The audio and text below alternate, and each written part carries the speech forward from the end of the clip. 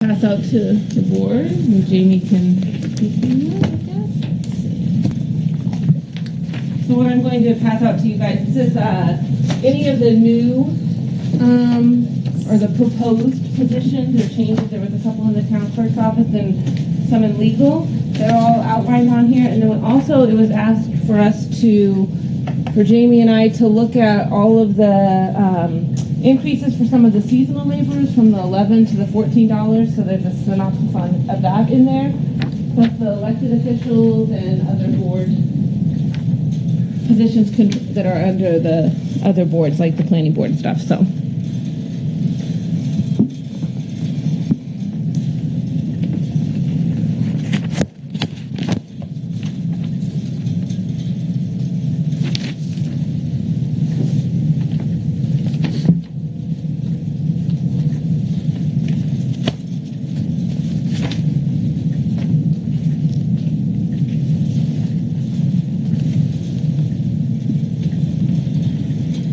How'd you like to approach these, Mr. Chairman? I'm trying to think. I, So- I, I would recommend town clerk right off the bat because it's the first page and it's pretty simple. Sure.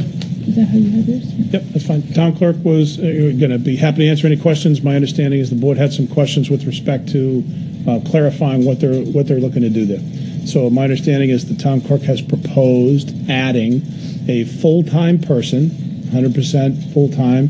So in that town clerk proposed position changes 2018, you see what the total cost is for a year at that 59, 549, 12. It's also broken down, if it were to pass in this year, to be uh, for the 39 weeks. And also in doing that, there's a recommendation by the, by the town clerk to uh, increase or change a position, um, and that's there for the senior bookkeeper at 39 weeks for that year. Be happy to answer any questions. With respect to adding that position, I believe that's, you know, a justification that town clerk should make to you, to you folks um, for anecdotally, we see the lines increasing, but I think uh, uh, she should come in and, and defend the position of why it's important to increase it. I wanted to answer your questions with regard to the finance impact. Be happy to answer any of those. And she did that night. when Yeah, she did, here. she did Yeah. come in, yeah. Yeah. And explain, expressed why she want, needed the position and wanted the change. Questions, Regina? Um, no, I mean, I'm just looking at this right now, but thank you. I, I would say this, But- Mr. Chairman, uh, if I may, I know I'm jumping Sure. out here. Uh, they're doing, th- it's a, it's a multi-million dollar business, three point something million dollars in revenues and fees. And, and uh, I would move the um, uh, entire budget from uh, the town clerk, that's correct, uh, to incorporate these uh, uh, personnel changes and charges. Uh, the cost for 39 weeks, 44,661.84. And uh, the senior bookkeeper, 39 weeks for 2,676. Is that correct? Am I reading this right? correct. You're right. 85 cents. I would, I would move that budget and those uh, personnel changes uh, with that data. All I would ask, uh, just caution the board that, that also in addition, what's not here, is in order to accommodate that additional personnel, there will be some uh, manipulation of the workspace necessary Right. uh, in order to accommodate that fourth window, which is, I understand, her goal there. Uh, There is not money currently carried for that, but that's something that's going to be required to do. And I'm sure we'll, we'll deal with that, but I just want to put that on the table for you. We have a motion and we have a second. Yeah. I'll second, but can I just ask a question first? Sure. Because I'm sorry, but this town clerk assistant, full-time, and senior book, so those are two new positions. No, the full-time person is a completely new, 100% new Right, position. okay. And then The this other is additional for the senior bookkeeper. Correct, basically it's a promotion. It's a Okay. bump. Correct, Alright. right. In the contract, in the Teamster contract right now, there's a bookkeeper position and a senior bookkeeper. Okay. And so she has someone in the bookkeeper position that she's wanting to promote to the senior bookkeeper. Correct. Is that correct? That's correct. Okay, all right, so, and then we have the paralegal for. That's March. The Other next, section. that's another issue. Yeah, but we do, are we do, is this, we just doing the town clerk right now? Yeah. Just the town clerk, Okay, yeah. I'll second the motion. Rick, do you have anything? I, I have a question, and I don't want to put anybody on the spot. That's why we're here. Do you have any thoughts on this? Well, I periodically come out and look at what's going on downstairs, and uh, we have a lot of very frustrated citizens coming in to trying to register cars and register to vote and do a lot of other things. And that line frequently is halfway across the room, and, and at the end of the month or the beginning of the following month, it's almost out the doors. So it's very, very long. There are long waits. People are getting very frustrated. We need to do something to solve that time problem. So I think you need to do this. Do you have any thoughts on this? No, I, again, I, we've listened to Jane speak on this, and we absolutely see that. You know, I, like to see some hard data to show the increase and such, but but it's very difficult for her to produce that data. I had a conversation with her today, but again, anecdotally, we can we can tell you we see it. You know, I get called from time to time when there is a citizen down there who is less than cordial, um, and have to go down and kind of assist with with diffusing some of those. We've definitely seen an increase, at least since I've been here in that. Absolutely. Um, so.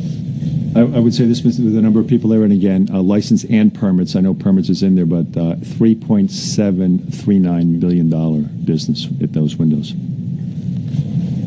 That's a big lot. business. It's a lot. I can, I can tell you, Mr. Chairman, uh, the Assistant Town Manager is absolutely correct. Uh, We, in the past, have had maybe one or two people a year that we're having problems with. That, that is constantly climbing now because of this aggravation. Happens quite frequently now. And in, we're voting on the whole budget then, you're saying, Phil? Yes, sir. We're voting on her three percent raise So too? we haven't talked about that. That's an issue. Again, it's, it's, you've historically done several things. When it's come through as another elected official, when there's a request in there, last year and, and other times, this board has just passed that on as a part of the budget. Um, and she can justify, or the elected official speaks to that. That's a challenge you have with several other boards here, you know. Um, so that's what you did last year. You can choose to do that, or you can choose to do something different with it. It's really a political discussion for you folks to make on that. Um, but three percent, uh, you know, I did some looking today on what her salary is uh, using the old NHMA data, um, and it doesn't seem out of line from what I see in there. Absolutely. For the record, Mr. Chairman, the 3% that was requested is $68,853.63. Any other discussion? No? Well, to be clear, that three percent wasn't that entire number. That's what the new salary would be at the end of the addition of the three percent. Just didn't want to think, you know, Right, right. clear on that. That's what the new salary would be with the three percent. It's currently sixty-one nine nine two. Yep. Um, it would then move up to with the three percent, sixty-three eight fifty-three. I would just Eighteen hundred bucks. like to say, since we're discussing about how people act when they're in line, they ought to just pay attention to what happens in another state, because as long as the lines are here, they're nothing compared to when you live in Florida, California, or anywhere else I've ever lived. Or when you gotta go to the state. Yeah. DMV, like I Or- said today, an hour and a half. Yeah. And These actually, lines are nothing. a lot of people, someone had posted about the town, you know, how you can do the registrations online. And I was surprised that a lot of people, I mean, I just saw it on social media that a lot of people didn't know that they could do that. I just saw It- mine today, came on my phone.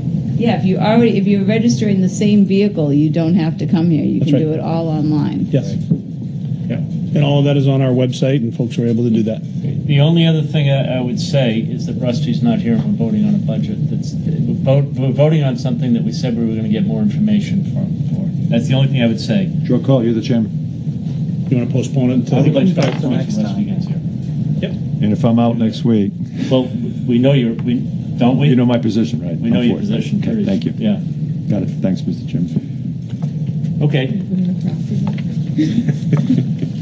Uh, what do you want to take up next? Uh, Legal? Legal? All right. So legal, they were um, added actually at the administrative level. Uh, you get two issues there: the paralegal and the intern. Uh, I'll talk to the intern program first. I think this was a very good add for us. Um, this year, uh, Mark was able to recruit a UNH law student uh, to come in uh, and work for free uh, during the summer. Added value, um, and I think it was a good program to expand. Um, and in doing so, we think as we can recruit other people, I think it's a good opportunity to pay an intern to have a more effective working, choose a better candidate, that type of thing. It's a lot of work, and I think that's a reasonable thing to start. The second part, the paralegal, um, that was really in response, as I understand it, from from the manager, uh, response from some of the board members, given the workload in there. Um, that's a fair amount of money to add to this budget. And, you know, my position is, I know Mark is interested in it, my position is paralegal uh, going rate is substantially higher than $25 an hour. Um, You know, it's board's choice. I would recommend, you know, personally, my recommendation, I've shared this with Mark, is that we forego the paralegal this year and expand the intern, basically test drive it more, with more hours, pay somebody that we can count on to be there more consistently, and then see how that goes. And if that continues to work positively, then maybe we consider that paralegal further. All right. Again, we have a space need issue, uh, depending on the number of hours, putting additional people in there. That's my personal take on it. I don't know if Fred shares that or not, but He does. Uh, looking at it from uh, the perspective of what you're going to do with a paralegal, uh, if you're going to work that person uh, as a regular employee, you don't have the room. The intern uh, can work around the existing work staff that's up there. We don't have a place for these people to sit unless somebody's out. So maybe we do the intern to start, build on that, and if we need a paralegal at that point in time, we can justify it, then come back to the board with that justification after we do the research and the work. It's a lot of money. Okay. Um, Rick, I agree with what Fred just said. Regina? Well, but is the intern going to be available for what? I mean, I thought the whole point was so that Mark could actually be doing lawyer things and he could have someone in the office doing all the, filing all the motions, doing all the research for him. I mean, you know, I worked as a paralegal for, you pretty much, you, you're an attorney, but you just, you didn't pass the bar. You do all the same work. Right. So I don't think that, I mean, an intern is necessarily gonna, I mean, I think it will help them out, but I don't think it's a replacement for a paralegal. I mean, I don't know. I think maybe don't have the intern and have paralegal. That would be my suggestion. Because I think the budget is still, even with that, it's what, two hundred and forty thousand dollars, the legal budget? And if you add, Two twenty, no, it's two twenty-five with the paralegal in there and the intern out. Right, it's only, two- isn't- it's two twenty-five? Isn't that? Yeah. Yeah. Oh, okay, it's already in there? Yeah. Oh, all right. I think we should wait till Rusty's here. Well, the, the only trouble is, I know Phil has a fairly strong opinion on this one, I believe. I, I shouldn't speak for anybody. Go ahead, go ahead. Well, I, I, I did, but as you know, there was a reorganization, and now um, legal comes under uh, Mr. Welch. Yeah. And I know I'm, I'm free to say that, but there Oh, was yeah. there was an organization, and now um, I'm more inclined uh, to uh, uh, go with uh, uh, We looked at it. and listen to them. Okay, so would, you're fine wait, us waiting for Rusty? Oh yes, sir. Okay. We did look at it, and we, what we found was that the paralegal could only be here half-time. And we really need that person full-time to do what you want to do, but I got no place to put them, physically. Okay. We'll wait on that. Good, wait on that. Um, uh, proposed increases for elected positions, that, that's So the there. elected positions, you have, you you have the town clerk, tax collector, collector's the same thing. Both come in and propose to you three percent. I think that's a decision for you folks. Historically, you've passed that on when they've given something that, that is reasonable. Um, I- I'd suggest you do that here as well. Then we'll talk about, in general, there were some other issues that were raised um, for what, what did we do with the, the real part-time folks? That- These are the folks who are, uh, worked on the DPW, seasonal laborers doing trash picking What They have struggled for a significant period of time filling some of those. And we do think that pay is part of that. I think at some points they were nine dollars, eleven dollars, and we were having trouble getting anybody to apply for those positions. Um, same with uh, folks to assist in the rec department for the summer with assistance of parks maintenance and that type of thing. So we had a global discussion about what should that number be? You can go to McDonald's and, and work for fifteen dollars. So we, with some of those positions, we recommended and we put in the budget that they go to fourteen dollars is sort of our base minimum there for those types of positions. There are a couple others there that may be smaller, but generally that's the number we're recommending. Um, and we've made those adjustments within this budget. I would recommend that we do that. We need to start getting more people in public works in the summer to assist. We need to have more assistance uh, dealing with some of these issues for the parks to be much more effective with some of the great work that's been done to upgrade them. I agree with that. I agree. Uh, we can wait for Rusty and then, um, yeah, I agree. Okay, So the chart there, it just breaks down the number of hours that were in the budget, all the positions, what they're currently being paid for, according to the 17 budget, and then the increase for the 18. That's kind of your breakdown, so you guys can see it all right there instead of looking across the budgets. But To be clear, these are true Addresses them all. part-time, non-union Seasonal positions, seasonal employees, most of them, yeah. They're all seasonal for this thing here. Super. Any other questions that came up regarding Wages? wages, I'd be happy to answer for you.